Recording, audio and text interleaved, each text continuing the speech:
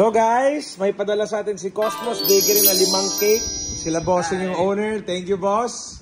And titikman natin yan isa-isa lahat. Okay?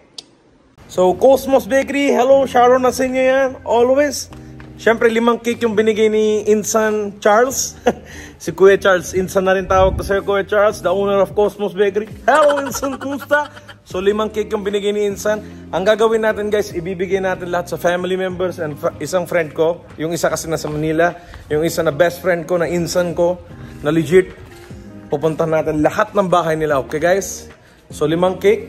Kitita, tita, tito, omot, and bahay namin. Limang cake na yan para hindi sayang. At lahat ng pupuntahan kong bahay, ipapaslice ko sa kanila yung cake para makita natin kung masarap o hindi. Okay?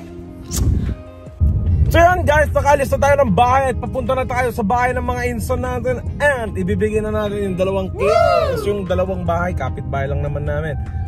Unahin muna natin sa malayo yan, no problem. Ito na guys, I'm coming to you. Homies, huh, mga insan, wala na utok.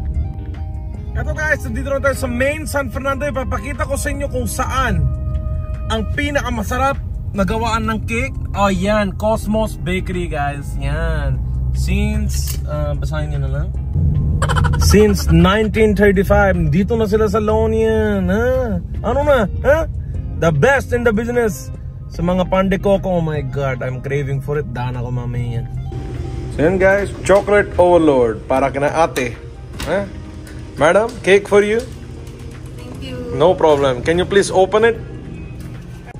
So guys, ito yung chocolate overload ng Cosmos Bakery. Sobrang dami ng chocolate na kakaiba-iba yan. White chocolate, dark chocolate, and cocoa powder. Giyok-giyok na yan. Okay, kagigising niya lang. Yan guys, slice natin. Yan. Okay. Ito na yung first slice. Tignan natin yung laman guys. Tignan natin yung laman. Mm, dami na yan. Okay, tikman natin. Okay guys, so ito na yun. Kuha tayo ng spoon. Kuha tayo konti yan. Sorry, makikikain lang. Okay guys, yan na.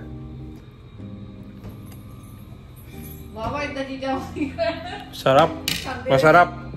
Yan guys, si tita naman titikim. Kapatid ni Papa. Na panganay.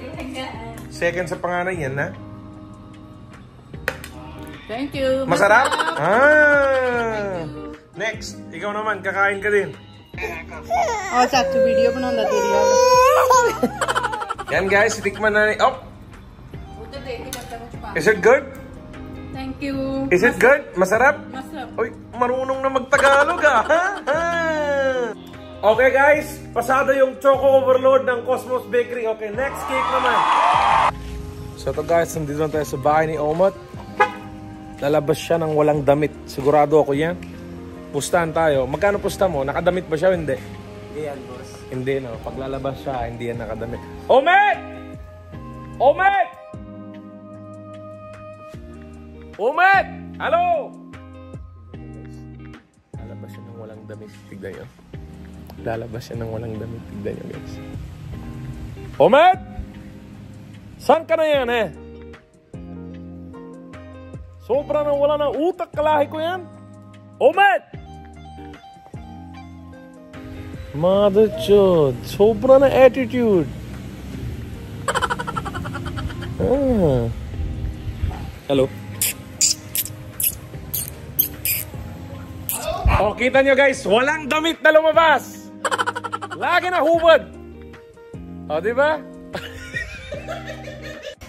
So guys, ito na yung mango dream na cake ng Cosmos Bakery. Sobra na beautiful yan. Yan yung mango sa taas. Tignan natin kung ano laman sa loob. Okay guys, yan na cake cutting. Yan na, cutting na natin yan. Okay, sa gitna. One slice, maliit lang. Okay. Ang mango dream napunta ka na Omat. Ang chocolate overload napunta ka na Kuya Sunny. Eto na guys, tik mo na. Sobra na maganda sa loob. Perfect. Hey, marachot! Eto na guys, yung cake for us. Tikman na natin. Yan na guys, kuha na tayo yan. Tikim-tikim na natin yan. No problem.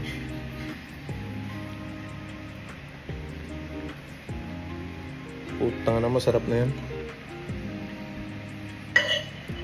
Sarap. Mm. Perfect blend with mango and para na marshmallow. Tas creamy na sobrang na masarap. Hindi pa ganun katamis. Parang healthy siya. Masarap. Ako vlog. Gomez, the first, na, nasubo niya na nang wala pang vlog. Second subo ulit, Mother Chod. Kuha mo na yan, Oman. eh? Eh? Kain mo na yan. Bilisan mo na yan. Nguyang, nguyang. Hindi, wait lang pare. Nguyang, nguyang muna yan. Feel the flavors. ano ko, masarap. Mango.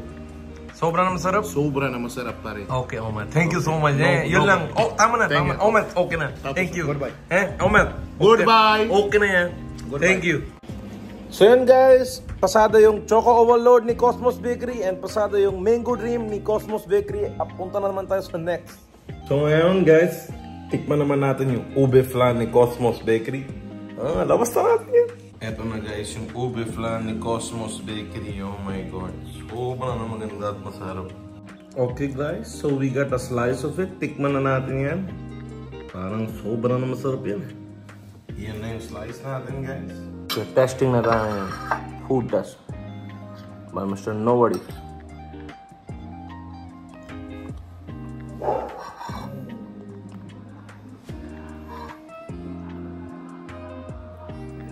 Wait, isa pa, isa pa. Hindi ko maano.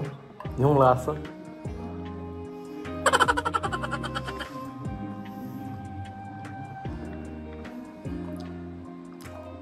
Isa pa, isa pa. Oh my God.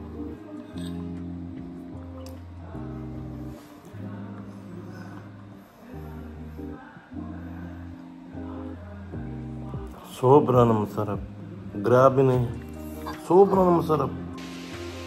Guys, ako naman sakit and tinulungan tayo ni Kuya mag-vlog and I'm sorry na hindi ako yung nakapunta. Biglang nag-down yung shutdown na yung buong katawan ko. Ayun, para nang wala nagana, bigla na dry yung throat, binigla na hinga-hinga na, ano yan, pahinga-hinga lang ako muna yan. Kakasigaw ko siguro yan, may naano na ugot. Thank you for watching guys, love you. Shoutout lang, tinamad lang ako. love you na yan, kiss ko na tayo yan, okay? Ah, love you. So guys, pinapunta ko ni Mr. Nobody dito sa bahay ng pinsan ko para mamingi ng cake po. Kasi Christmas daw. Eh, sponsored by Cosmos Bakery po.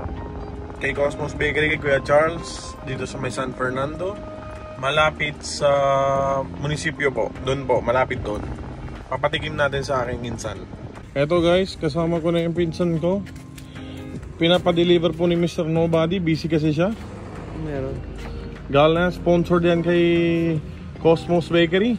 Ay, kay Charles. Oh, mag-hi ka naman sa vlog ah. thank you, thank you. We have to taste it my friend. How do Kanina you ko like it? Kay Charles o kay Mr. Nobody. Kuya Charles, thank you so much for Yeah. this wonderful cake and more blessings to you. Can we Merry go in my Christmas. friend?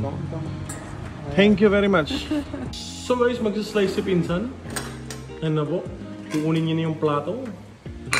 Ganda po ng plate nila. oh. Galing nga yung ano. Gawain sa pearl, pearl no, pearl. So guys, ilalabas na ni Pinsan yung cake. Yan na po. Mm, very delicious yata yan ah.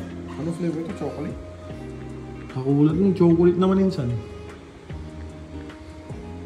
Here you go. Merry Christmas, bro. Christmas.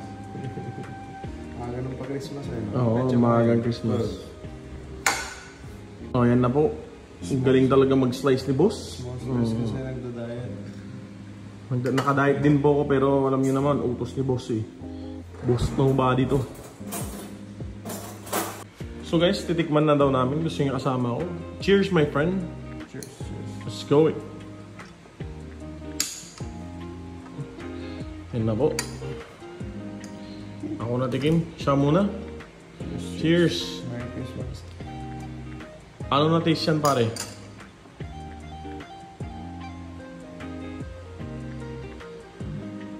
Tastes like chocolate and peanuts. Tastes like Merry Christmas. So guys, ako natikim na to. Mmm, nametos-metos ko na sa bunga ko. Masarap yung cake na binigyan ni Kuya Charles from Cosmos Bakery. Masarap talaga siya. Chocolate flavor. Next naman kay Pastor tayo pupunta guys. Hey guys, thank you kay Kuya Charles. Pupunta na tayo kay Pastor yan. Ganyan lang po tayo. Ito po, si Muskan. Ito yung cake. Galing from Cosmos Bakery. So guys, andito po tayo ngayon kay tita at kay dito, kay Pastor. Nahihiya sila kasi sa bahay daw sila, hindi sila nakabihis. Ito, pambigay ni Kuya Charles. Thank you Kuya Charles from Cosmos Bakery again. Ayan po. So guys, magkakat na daw siya ng cake. Mm, yan. Galingan mo naman ah. Mm, yan. Triangle na triangle po yung pagkat niya. Yung strawberry. Mm. Anong lasa? Masarap? Siyempre yung strawberry kinuha mo eh. So guys, andito na po si Pastor. Hello Pastor, kumusta ka na yan? Ito po, God bless you. Uh, megus megus na natin yung cake Pastor. Wow, praise the Lord. Yes, megus megus na natin yung cake. Tikman mo Pastor kung masarap. Yung totoong review yung kailangan natin ah. Hmm, yan na po si Pastor, titikman niya na. Megus megus mo na yan Pastor. Tornado mo muna. Oh, yun. Wow. Masarap. Yung totoo. Mm, masarap, pasado. Thank you, Pastor. Masarap daw. Thank you po. Thank you po sa inyo, Pastor. Thank you.